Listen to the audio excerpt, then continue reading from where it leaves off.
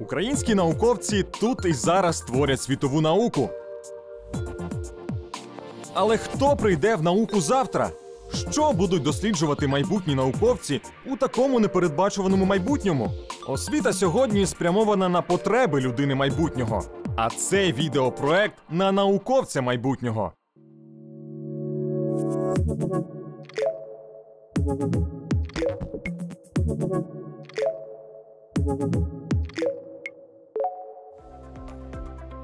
Наші майбутні науковці запросили вісім дорослих науковців з різних царин, аби напряму поставити їм запитання, на які важко знайти відповіді у підручниках.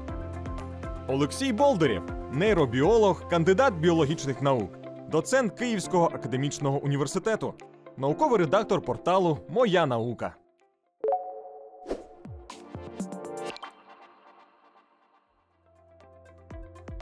Мозок є не у всіх живих організмів. Середня статистична людина використовує лише 10% всього потенціалу свого мозку. Письменник Анатоль Франц мав мозок вагою близько 1020 грамів. Чи насправді нецензурні слова обробляє окрема частина мозку? Мозок всім відомого Альберта Ейнштейна менший за середній у США. Швидкість передачі інформації всередині мозку може сягати 440 км на годину.